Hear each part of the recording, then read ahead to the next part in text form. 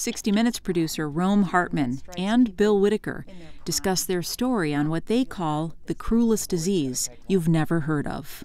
I had never heard of FTD, frontotemporal dementia. Had, I had, had never heard of it either. Nor had I. In, in what way did you see the cruelty of this disease? It hits people in the prime of their lives.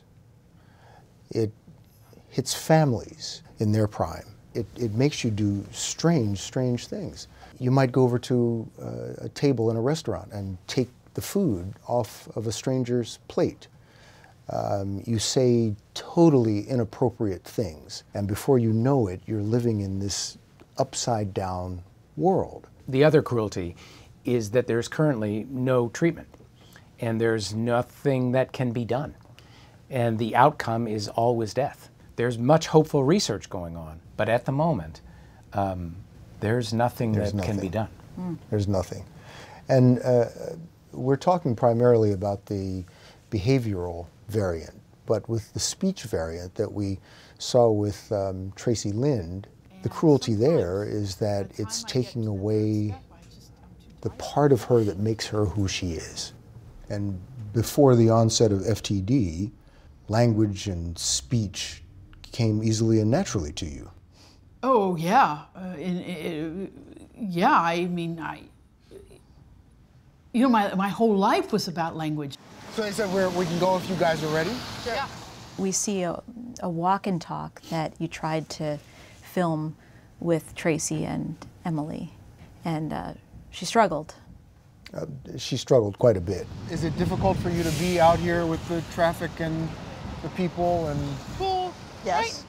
We were on a street corner in San Francisco. It was just a horrible confluence of events. The, the wind picked up, knocked over a sign, a bus pulled up and made a loud braking noise. It, it, it's the lights and it's the sounds. All of this was going on at the time that she was trying to cross the street and she panicked. Oh!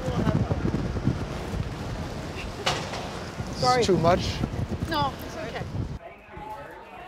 aside from being shocked at how devastating this disease is, I was most impressed with the caregivers. Hey, honey.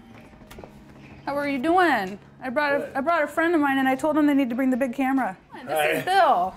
How are you? Very nice to meet you.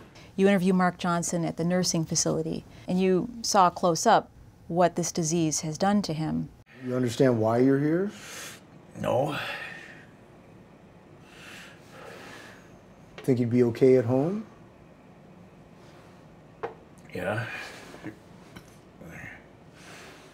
It was very difficult, uh, sad.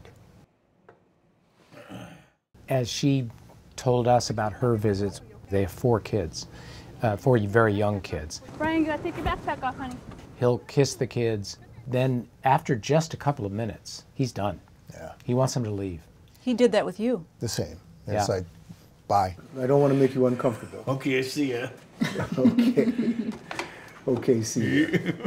Mark, it's real nice to meet you. Then you can go lay in bed for a little bit, okay? Okay.